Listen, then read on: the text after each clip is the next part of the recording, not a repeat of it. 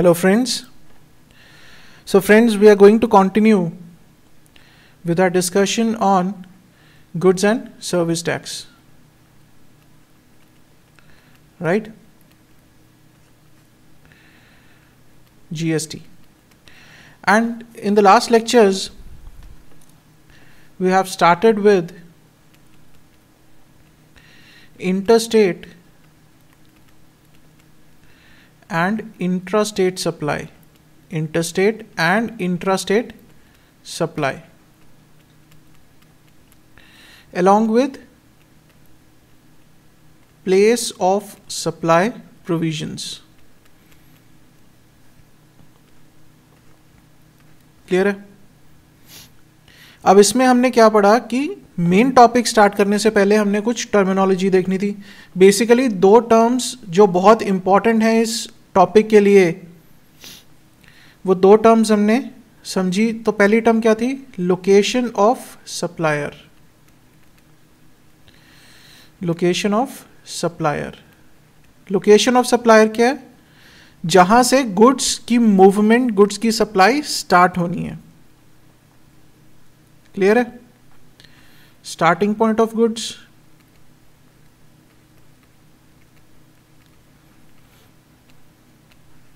right? जहाँ से goods की मूवमेंट स्टार्ट होनी है। और दूसरी चीज़ क्या पढ़ी हमने? दूसरा कॉन्सेप्ट पढ़ा एक प्लेस ऑफ़ सप्लाई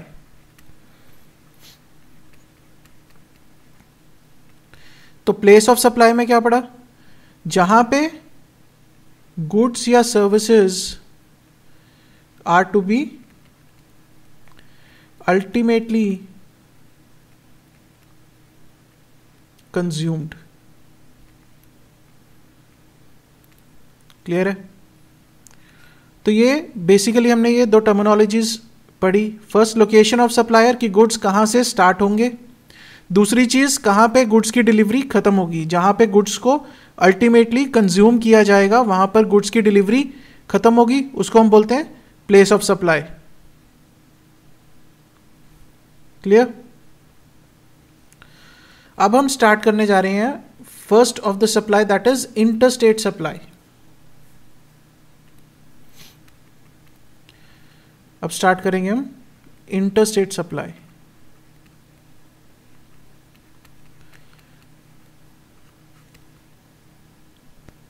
राइट अब जो डिफाइन किया गया है सेक्शन में, ये कौन से सेक्शन में डिफाइन किया गया है?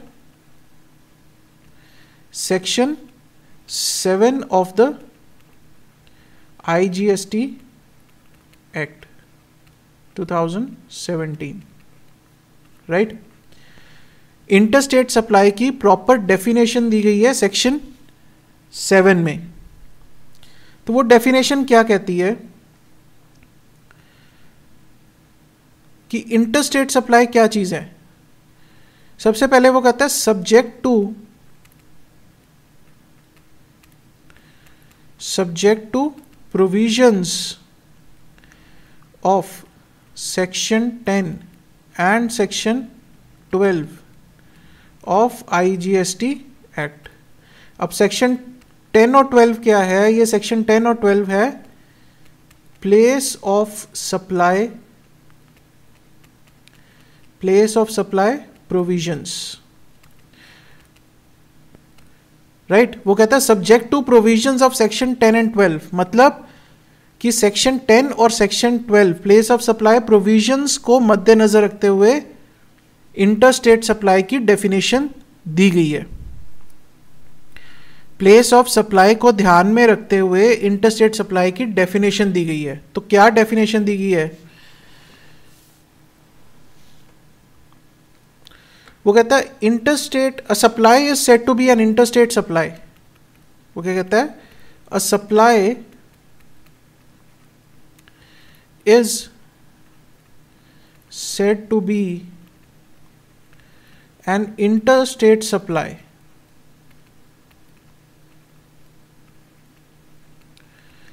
if अब आ गए हमारे पास वेरियस केसेस वो कहता है सप्लाई को कब हम इंटर स्टेट सप्लाई कहेंगे? वो कहता है इन द फॉलोइंग केसेस तो पहला केस क्या है?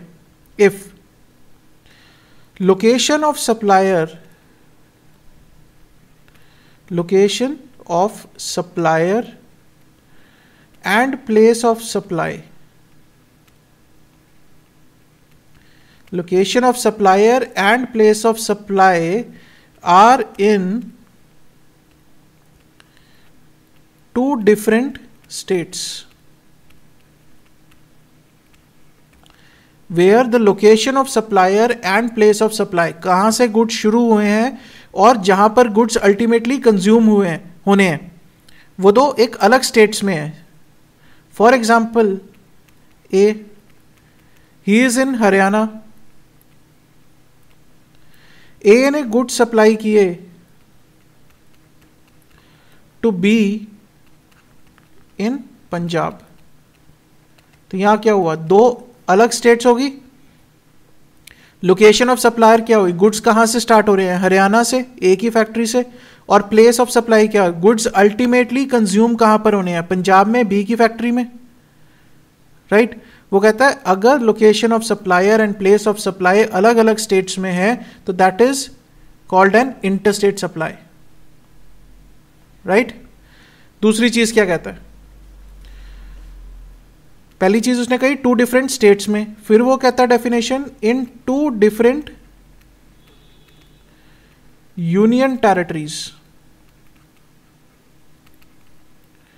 two different union territories example ले लेते हैं। जैसे ए कहाँ पर है? चंडीगढ़ में है। Chandigarh is a union territory A ने सप्लाई कर, करनी है बी को who is in Delhi national capital of Delhi is again a union territory तो क्या हुआ? लोकेशन ऑफ़ सप्लायर क्या हुई? ए कहाँ से? चंडीगढ़ से। चंडीगढ़ क्या यूनियन टेरिटरी है? और प्लेस ऑफ़ सप्लाई क्या गुड्स कहाँ पर कंज्यूम होने हैं? दिल्ली में। बी की फैक्ट्री में। दिल्ली क्या यूनियन टेरिटरी है? तो वो कहता है, अगर दो डिफरेंट यूनियन टेरिटरीज के बीच में सप्लाई हो रही है that is set to be an inter state supply clear है? फिर वो कहता है, तीसरा कंडीशन तीसरी कंडीशन क्या है? A state and a union territory a state and a union territory A जो है, वो कहाँ पर है? हरियाणा में। उसने सप्लाई करनी है बी को, जो कि है दिल्ली में। दिल्ली क्या है? यूनियन टेरिटरी है। ए किसको सप्लाई कर रहा है? बी को। लोकेशन ऑफ़ सप्लायर क्या है? हरियाणा। हरियाणा का है स्टेट और प्लेस ऑफ़ सप्लाई क्या है? गुड्स कहाँ पर कंज्यूम होने हैं? दिल्ली में, जो कि एक यूनियन टेरिटरी है। तो कहता है, अगर कोई भी सप्लाई स्टेट और एक यूनियन टेरिटरी के बीच में है तो that is set to be an inter state supply clear that is set to be an inter state supply तो सबसे पहली चीज़ क्या कही उसने? सबसे पहले वो कहता है a supply is set to be an inter state supply if location of supplier and place of supply मतलब गुड्स जहाँ से स्टार्ट होंगे that is location of supplier और गुड्स जहाँ पर कंज्यूम होंगे that is place of supply अगर वो डिफरेंट स्टेट्स में है या टू डिफरेंट यूनियन टेरिटरीज में है या स्टेट और यूनियन टेरिटरी के बीच में ट्रांजेक्शन है तो that is set to be an inter state supply clear है पहली चीज़? अब दूसरी चीज़। ये तो थी पहली कंडीशन पहला केस दूसरा केस वो कहता है import of goods or services into the territory of India.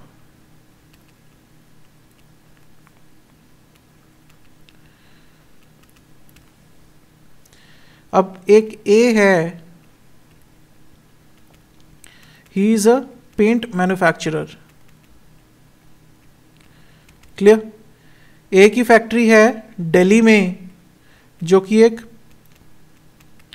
Paints का मैन्युफैक्चरर है। अब एक चीज़ सबको पता होगी कि पेंट बनाने के लिए कुछ केमिकल्स की ज़रूरत है। अब ए को वो केमिकल इंडिया में अवेलेबल नहीं है तो वो क्या करता है? वो बी से कनाडा से एक केमिकल मंगवाता है, अपने पेंट के लिए। अपने पेंट के लिए वो एक केमिकल इंपोर्ट करता है फ्रॉम कैनेडा क्लियर है?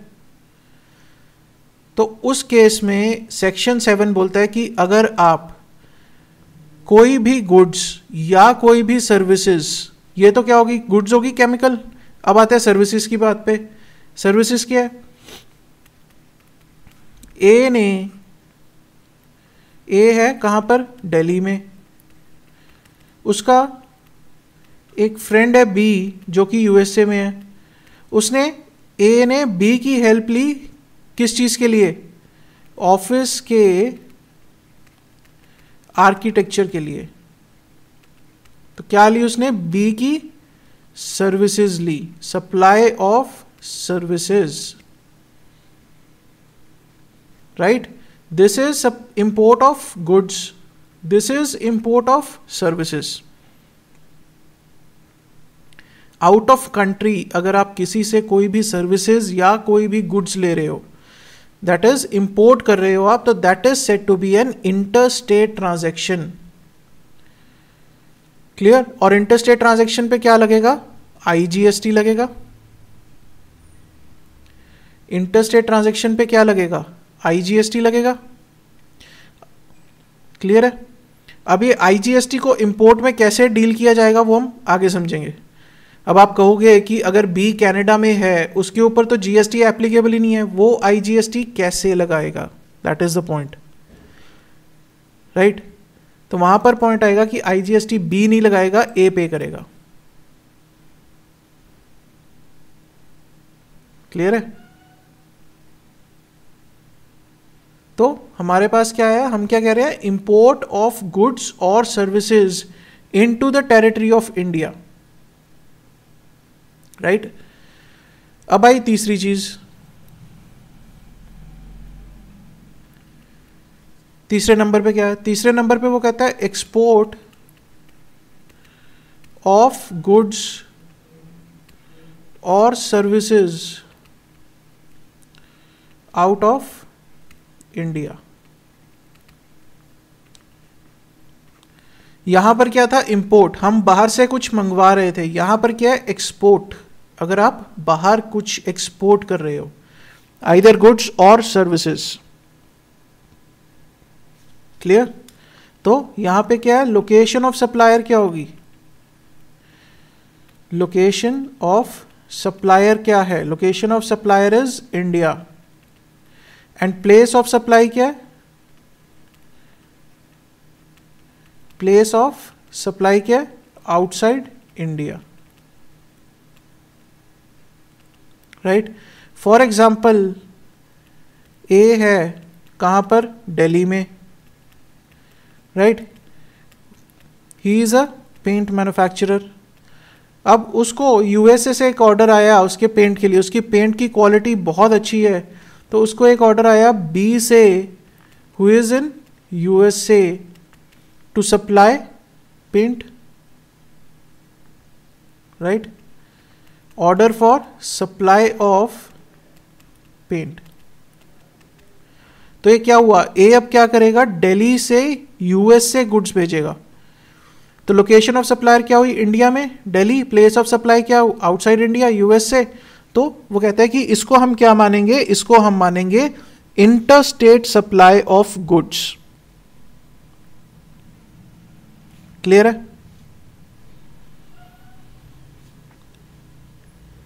तो जहाँ पर लोकेशन ऑफ़ सप्लायर और प्लेस ऑफ़ सप्लाई अलग अलग स्टेट्स में अलग अलग यूनियन टेरिटरीज में, अलग स्टेट या यूनियन टेरिटरी में या अलग अलग कंट्रीज़ में है तो उसको हम बोलेंगे स्टेट सप्लाई ऑफ़ गुड्स और सर्विसेज़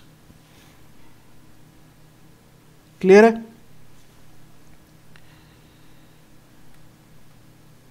अब आ गया चौथा point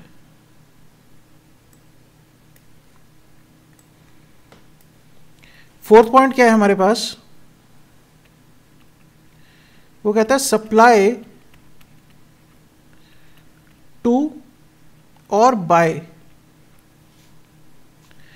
a special economic zone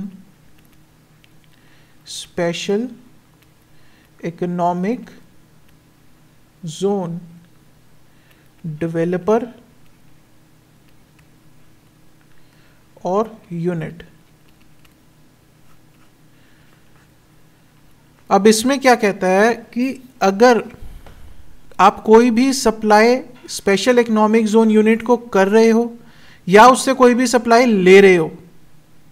तो it is always set to be an interstate supply right any supply provided to a special economic zone or any supply that is received from a special economic zone unit that supply will be considered as an interstate supply अब suppose करते हैं कि ए मुंबई में है।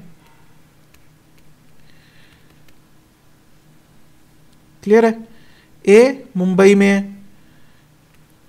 एक mister B है, वो भी मुंबई में है, जो उनका यूनिट है that is an S unit special economic zone unit right अब ए ने बी को सप्लाई की। क्या ये टू डिफरेंट स्टेट्स हैं? नहीं है। क्या ये टू डिफरेंट यूनियन टेरिटरीज हैं? नहीं है। क्या ये स्टेट और यूनियन टेरिटरी के बीच में है? नहीं। क्या ये दो कंट्रीज़ के बीच में है? नहीं। तो अभी तक जो भी हमने इंटरस्टेट सप्लाई के बारे में पढ़ा, उसकी किसी भी कंडीशन पे ये पूरा नहीं उतर रहा। कोई भी कंडीशन पूरी नहीं हो रही यहाँ पे। लेकिन तो आप इसको क्या कहोगे? आप कहोगे ये इंटरस्टेट ट्रांजैक्शन नहीं है। लेकिन लॉ में इसको स्पेसिफिकली बोला गया कि अगर आप कोई भी ट्रांजैक्शन, कोई भी supply special economic zone unit के साथ कर रहे हो तो it is always consider to be an interstate supply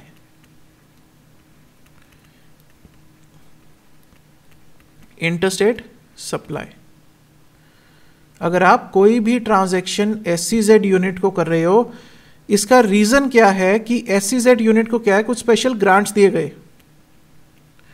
कुछ स्पेशल उनके प्रिविलेजेस हैं, कुछ स्पेशल ग्रांट्स हैं। तो वो ग्रांट्स कौन दे रहा है उनको? सेंट्रल गवर्नमेंट अगर वो कह रहे हैं कि ग्रांट्स हम दे रहे हैं तो टैक्स भी किसको मिलना चाहिए पूरा? सेंट्रल गवर्नमेंट को। अगर सेंट्रल गवर्नमेंट को टैक्स मिलना चाहिए तो क्या एप्लीकेबल होगा? आईजीएसटी आईजीएसटी होगा तो मतलब क्या है? कि it is an interstate supply clear तो उन्होंने क्या कहा? कि अगर कोई भी सप्लाई, किसी भी तरह की ट्रांजैक्शन, चाहे वो हम सप्लाई आउटवर्ड कर रहे हैं या सप्लाई इनवर्ड कर रहे हैं, कहाँ से? स्पेशल इकोनॉमिक जोन डेवलपर और यूनिट। तो उस केस में हम क्या मानेंगे? The supply is always an interstate supply. Clear? ये बहुत ज़रूरी है ध्यान में रखना कि सप्लाई को एससीजेड यूनिट के केस में हम हमेशा इंटरस्टेट सप्लाई ही कंसीडर करेंगे and not intrastate supply clear है? नेक्स्ट लास्ट में वो कहता है कि supply to supply to a supply to a taxable territory supply to a taxable territory not being an intrastate supply. तो इस प्रोविज़न में उसने क्या किया? काफ़ी चीज़ें कवर कर ली। वो कहता है, जो कुछ भी बचा है, अगर वो इंट्रा स्टेट नहीं है, आप सप्लाई कर रहे हो किसी भी टैक्सेबल टेरिटरी में। टैक्सेबल टेरिटरी का मतलब इन्होंने टैक्सेबल टेरिटरी टर्म क्यों दी? बड़ी इंपॉर्टेंट चीज़ है ये समझना कि टैक्सेबल टेरिटरी टर्म क्यों यूज़ की गई है? क्योंकि अर्लियर एक्ट्स में क्या था कि जो पहले था most of the acts were not applicable to the state of Jammu and Kashmir Jammu and Kashmir का कुछ स्पेशल प्रिविलेजेस थे। क्लियर और अगर इनिशियल टाइम की बात करें तो GST was not applicable to Jammu and Kashmir initially Jammu and Kashmir ने एक्सेप्ट नहीं किया था जीएसटी को। तो उस चक्कर में उन्होंने ये टर्मिनोलॉजी ऐड की कि टैक्सेबल टेरिटरी आज के टाइम की बात करें तो आज इवन जम्मू एंड कश्मीर में भी जीएसटी एप्लीकेबल है। Right right? तो वो भी एक टैक्सेबल टेरिटरी है। वो कहता है supply to a taxable territory not being an intrastate supply अगर वो इंट्रास्टेट सप्लाई की डेफिनेशन में नहीं आ रही है क्लियर लेकिन आपने सप्लाई की है टैक्सेबल टेरिटरी में तो उसको हम इंटरस्टेट सप्लाई ही मानेंगे। उसका टैक्स जो है वो सेंट्रल गवर्नमेंट को ही जाएगा। आईजीएसटी एप्लीकेबल होगा और उसका जो टैक्स है वो सेंट्रल गवर्नमेंट को ही जाएगा। क्लियर है?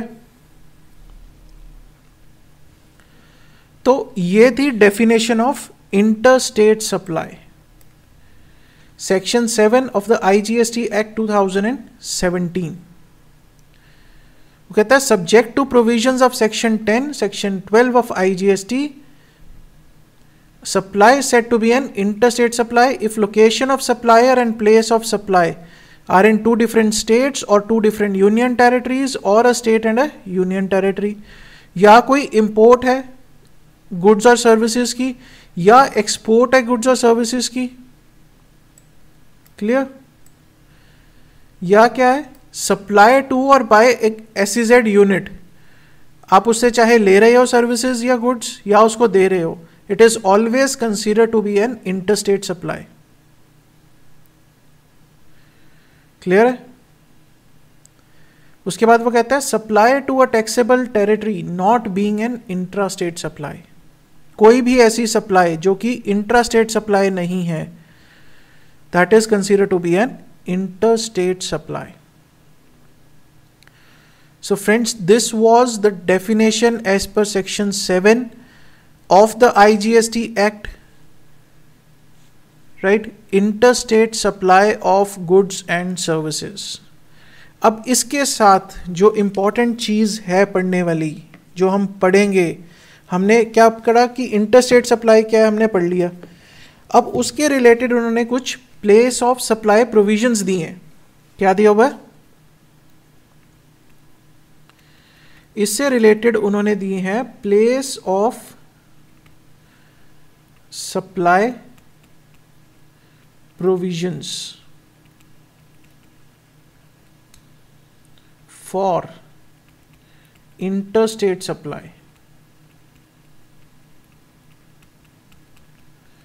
right place of supply provision for interstate supply इसका मतलब क्या है? हम क्या आइडेंटिफाई करेंगे कि गुड्स कंज्यूम कहाँ पर होने हैं? हम क्या आइडेंटिफाई करने वाले हैं? Destination of the goods clear है? हम क्या आइडेंटिफाई करेंगे इन प्रोविज़न से? कि गुड्स की डेस्टिनेशन क्या है? क्यों इंपॉर्टेंट है डेस्टिनेशन जज करना? क्योंकि अगर हमें डेस्टिनेशन पता होगी, तभी हम आइडेंटिफाई कर पाएँगे कि whether it is an interstate transaction और एन इंट्रास्टेट ट्रांजेक्शन clear? तो place of provision sorry place of supply provision क्यों दी गई है? To identify where the delivery of the goods is to be terminated where the goods are to be ultimately consumed because that will help in identifying whether a transaction is interstate और interstate clear तो ये जो place of supply provision है, बहुत important है right right? इसमें चार पाँच केस हैं प्लेस ऑफ़ सप्लाई प्रोविजंस में। अगर सिर्फ़ इंटरस्टेट की बात करूँगा अभी सिर्फ़ इंटरस्टेट सप्लाई की। Right right? तो ये हम स्टार्ट करेंगे नेक्स्ट लेक्चर में। Place of supply for interstate transactions ये हम करने वाले हैं अब नेक्स्ट लेक्चर में। Right right? So friends, if you have any queries, you can send me an email ksj teaching at the rate of gmail.com. Right? So friends, that's all for this lecture. Thank you so much.